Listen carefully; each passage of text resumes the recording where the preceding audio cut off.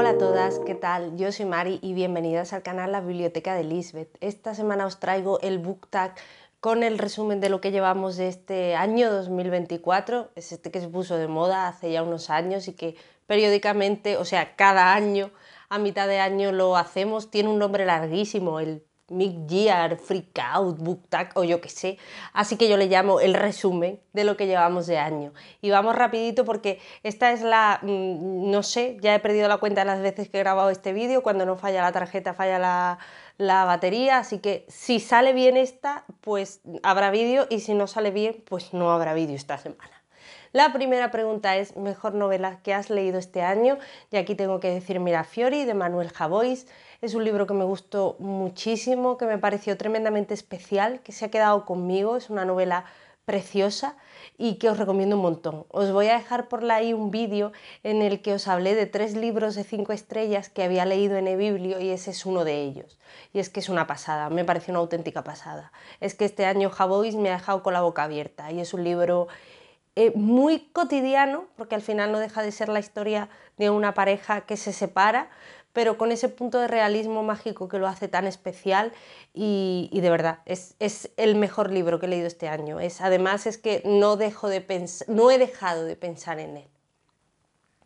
La siguiente pregunta es mejor secuela que hayas leído este año y aquí es obligado decir la saga Blackwater porque me la he leído entera, me he leído los seis volúmenes eh, conforme los fue sacando Blacky Books y la he disfrutado muchísimo. Sobre todo tengo que quedarme con uno que es la tercera parte que es la casa. Me encantó, me gustó muchísimo los eh, acontecimientos que se desarrollan en ese libro y cómo nos los cuenta el autor. Me pareció un libro de 10, el único libro de la saga que tiene cinco estrellas, aunque la saga me ha gustado mucho, eh, ya sabéis que yo los regalo halagos, pero el tercero, el tercero tiene cinco estrellas porque me pareció una auténtica pasada. Y he visto por ahí en general a gente que ha leído la saga que todo el mundo además puntualiza que el tercero, que toda la saga está muy bien, pero que el tercero brilla con luz propia. La siguiente pregunta es, ¿mayor decepción de lo que llevamos de año? Y aquí tengo dos. Y las dos vienen de la mano de la editorial Hydra. Uno es Amarilla, que fue un libro que me decepcionó muchísimo, me lo trajeron los Reyes, tenía muchísimas ganas de leerlo y a pesar de que tiene un arranque súper potente y que me parecía súper interesante, eh, al final el libro se convierte en un bucle repetitivo infinito que desemboca en un final completamente absurdo y decepcionante y la verdad es que fue un libro que no me gustó nada. Y el otro libro es El familiar de Leigh Bardugo. Me ha dado mucha pena porque Leigh Bardugo es una autora que me gusta muchísimo, pero este libro no ha sido para mí. Ni me ha gustado el contexto histórico, ni me ha gustado la trama, ni me han gustado los personajes, ni me han gustado las relaciones entre ellas.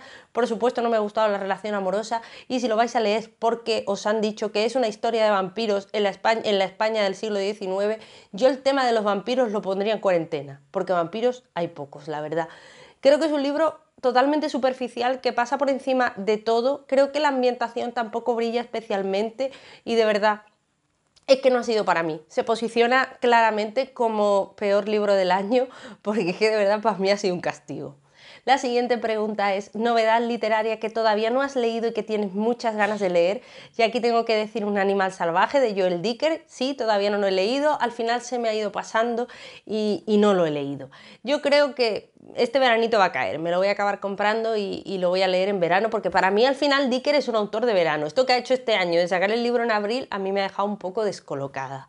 Otra novedad que tengo muchísimas ganas de leer es el último libro de Ali Hasselbuth, creo que se llama No es amor, y este me lo voy a comprar ya de ya. Este me lo voy a comprar ya de ya y me lo voy a guardar para un fin de semanita para disfrutarlo ahí al lado de la piscina. Ya sabéis que esta autora para mí es un lugar feliz y tengo muchísimas, muchísimas ganas de leer esta novela de la que he escuchado cosas muy, muy guays. La siguiente pregunta es, ¿novedad que más esperas esta segunda mitad de año? Y aquí tengo que decir Necesidad de Joe Walton. Nunca un título ilustró también mis ganas de leer una novela. Y es que es la tercera parte de la trilogía de Tesalia. La primera parte fue la ciudad justa, la segunda parte Los reyes filósofos y esta tercera parte nos la va a traer Duerme Vela a finales de año, no sé muy bien si en octubre o en noviembre, lo anunciaron como hace un par de semanitas. Ya sabéis que La ciudad justa es mi libro favorito de la editorial y a esta novela le tengo muchísimas, muchísimas ganas y le tengo muchísimas, muchísimas esperanzas.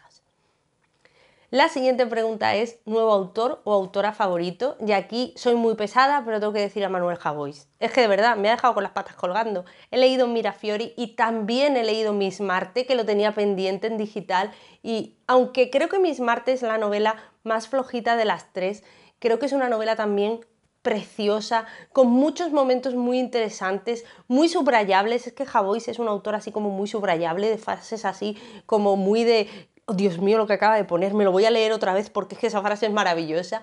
Y ya os digo, aunque Miss Marte creo que es la novela más flojita de las tres, eh, me gustó también mucho y sobre todo es que no se trabaja, es, es como que las palabras cuando lo lees fluyen con mucha facilidad y las frases y las frases fluyen con muchísima facilidad y de verdad es que es un libro que he disfrutado muchísimo.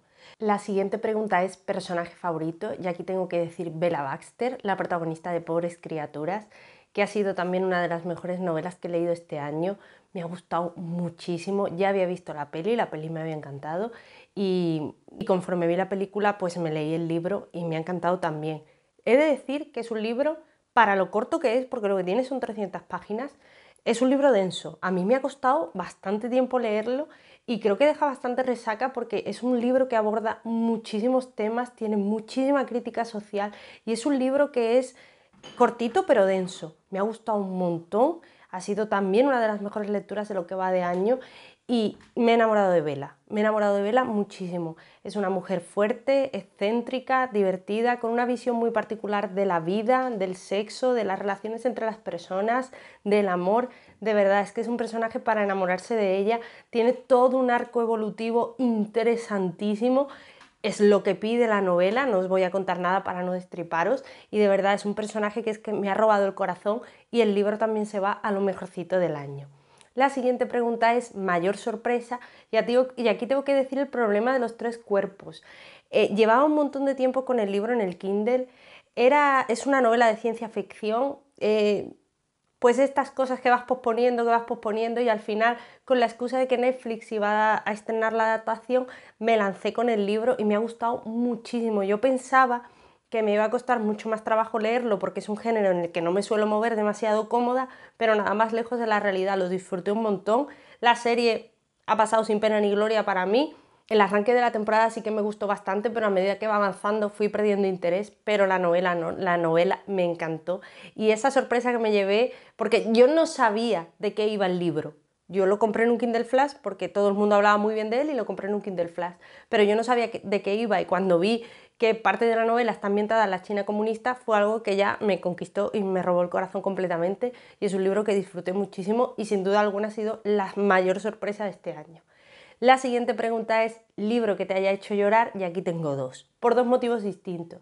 Por un lado tengo Vendimos nuestras almas de Geidrich Henriks, la novela, bueno, no es la novela que más me ha gustado del autor. Yo este año venía de leer Cómo vender una casa encantada, que me gustó muchísimo, está entre las mejores lecturas del año, pero es verdad que esta novela en cuanto a, a trama se me ha quedado un poquito más lejos de lo que, de lo que me había gustado Cómo vender una casa encantada pero sobre todo ha sido la edición, esa edición de Minotauro llena de ratas, de frases que no tienen sentido, eh, me, ha, cabreado mucho, me, me, daba mucha rabia, o sea, iba leyendo el libro y me iba mosqueando a medida que iba leyendo, y la verdad es que me parece una pena y una vergüenza que una editorial como Minotauro le dé a los lectores ese manuscrito eh, que es que parece que está sin editar. Es que parece que, nadie se lo ha leído y lo han mandado en la imprenta. Verdaderamente es una vergüenza y, es una edición que es una basura. No os gastéis el dinero, os lo digo de verdad. Sacadlo de la biblioteca si queréis leerlo, pero no os gastéis el dinero en eso porque, porque es, es una vergüenza.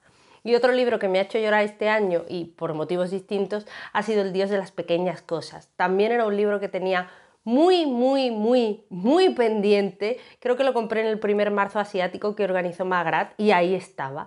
Y este año dije, venga, este año me lo voy a leer y este año me lo he leído y creo que en su momento no lo valoré lo suficientemente bien como este libro se merece, porque me, dejó tan emocionalmente rota que no era capaz, no, no era capaz, o sea, de procesarlo.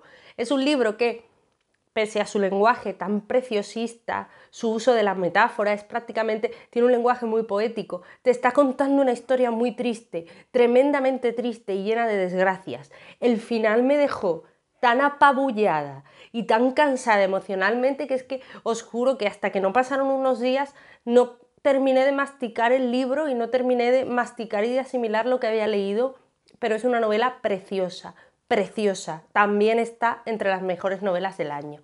La siguiente pregunta es, ¿un libro que te haya hecho feliz? Y aquí tengo que decir Novia de Ali Hasselbuth. Esta autora es mi lugar feliz, mi sitio seguro, eh, al sitio en el que me voy cuando quiero pasármelo bien. Y esta novela me ha gustado un montón.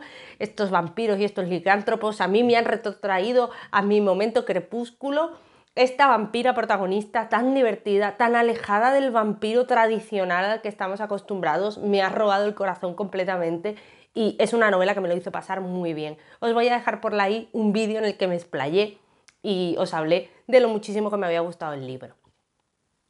La siguiente pregunta es, libro más bonito que has adquirido a lo largo de este año. Y aquí tengo que decir otra vez la saga Blackwater, que es que como objeto de colección es preciosa poner en la estantería, es que es preciosa. Pero yo sobre todo voy a hacer mención al segundo volumen, al dique, que es que me parece una preciosidad. los que bien escogidos están los colores, los brillos, los contrastes, las imágenes de la, de la portada, es que es precioso.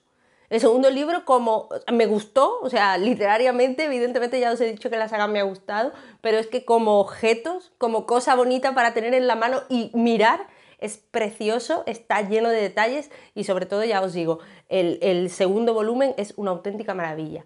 Y la última pregunta es, libro que quieres leer antes de que termine el año. Os voy a dejar por ahí un vídeo que os hice hace un par de semanas hablando de cinco libros en papel que quería leer antes de que terminara el año y que tengo muy pendientes. Y me gustaría mencionar también la, la trilogía de las chicas de campo de Edna O'Brien, que es el mismo que mencioné el año pasado y es el mismo que mencioné el año anterior. A ver si a la tercera va la vencida y me lo leo ya de una vez. Lo tengo en el Kindle desde hace eones. Creo que tiene todo para que me guste y para que sea un libro muy disfrutable para mí, pero no termino de ponerme, así que este 2024 me gustaría que saliera de los pendientes en digital. Esto ha sido todo por esta semana, espero que os haya gustado el vídeo, un besito y adiós.